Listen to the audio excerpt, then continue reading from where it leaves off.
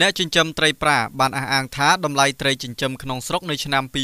2022ហាក់មានទីផ្សារប្រសើរជាងឆ្នាំមុនប៉ុន្តែពួកគេនៅតែប្រឈមបញ្ហាថ្លៃដើម ឡើងថ្លៃទ្វេដង ដែលធ្វើឲ្យពួកគេមិនអាចទទួលបានប្រាក់ចំណេញចំពោះមុខរបរនេះនោះទេ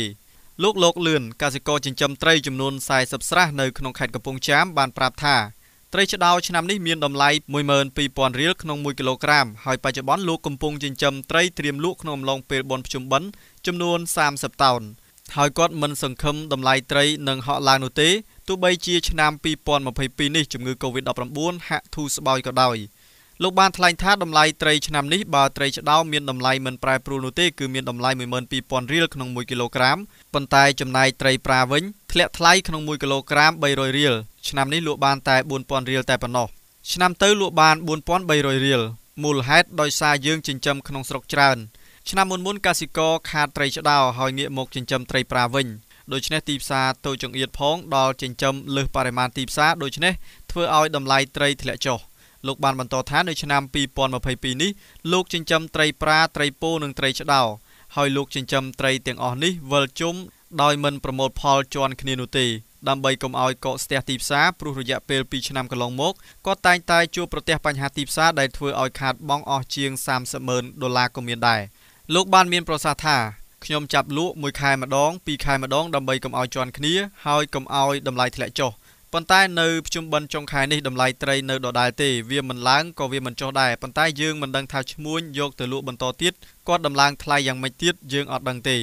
សម្រាប់អ្នកចិញ្ចឹមអត់ដំឡើងថ្លៃទេតម្លៃនៅដដែល លោកបានបន្តថាកាលពីឆ្នាំ2021ក្នុងអំឡុងខែកញ្ញានេះត្រីឆ្ដោមានតម្លៃត្រឹមតែ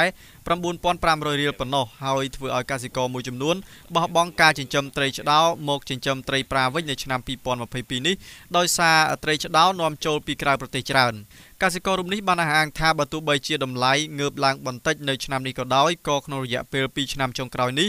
មានកសិករប្រមាណ40%បានបោះបង់ការចិញ្ចឹមត្រីដោយសារពួកគេជួបបញ្ហាទីផ្សារចំណែក ចំណីចិញ្ចឹមត្រីឡើងថ្លៃទ្វេដងប៉ុន្តែតម្លៃត្រីងើបឡើងតិចតួចតែប៉ុណ្ណោះដើម្បីដោះស្រាយបញ្ហាប្រឈមនេះលោកលឿនបានចេះកែច្នៃចំណីដោយខ្លួនឯងដើម្បីកាត់បន្ថយការចំណាយថ្លៃដើមលោកបានថ្លែងដូចនេះថាយើងកែច្នៃចំណីដោយខ្លួនឯងខ្លះទៅហើយយើងប្រើចំណីរោងចក្រខ្លះទៅបើយើងប្រើចំណីរោងចក្រទាំងអស់គឺអត់មានប្រាក់ចំណេញទេខាតតែម្ដង កន្លងមកលោកវែងសុខុនរដ្ឋមន្ត្រីក្រសួងកសិកម្មរុក្ខាប្រមាញ់និងនេសាទធ្លាប់បានលើកឡើងតាម Facebook របស់ខ្លួនពីបញ្ហាប្រឈមមួយចំនួនក្នុងវិស័យវារីវប្បកម្មនេះផងដែរមានដូចជាចំណីឡើងថ្លៃផលិតលើសតម្រូវការពិបាកប្រកួតប្រជែងជាមួយត្រីដែលនាំចូលដែលមានតម្លៃថោកជាង និងទីផ្សារគ្មានស្ថិរភាព។ ដើម្បីដោះស្រាយបញ្ហាទាំងអស់នេះរដ្ឋាភិបាលដាក់ចេញគោលនយោបាយជំរុញវារីវប្បកម្មក្នុងបំណងបង្កើនផលិតភាពវារីវប្បកម្មក្នុងស្រុកឲ្យមានការប្រកួតប្រជែងប្រកបដោយប្រសិទ្ធភាព និងបង្កើនតម្លៃបន្ថែមមានដូចជាកាត់បន្ថយការនាំចូលដោយជំនួសមកវិញដោយការបញ្ជាទិញត្រីនៅតាមកសិដ្ឋានតាមស្រះនិងផ្ដល់ការគ្រប់គ្រងបច្ចេកទេស លើកកម្ពស់ការកែច្នៃផលវរីវប្បកម្មឆ្លើយតបតាមស្តង់ដារគុណភាពនិងសុវត្ថិភាពដើម្បីប្រកួតប្រជែងក្នុងបរិបទពាណិជ្ជកម្មសេរី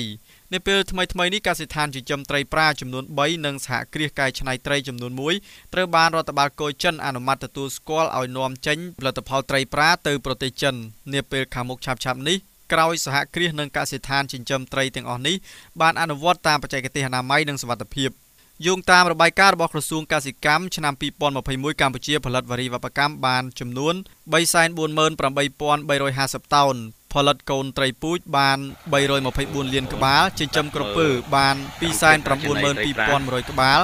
បង្កើតបណ្ដុំវរីវប្បករចំនួន326កន្លែងមានសមាជិកសរុបចំនួន11000នាក់នេះចិត្តល្មម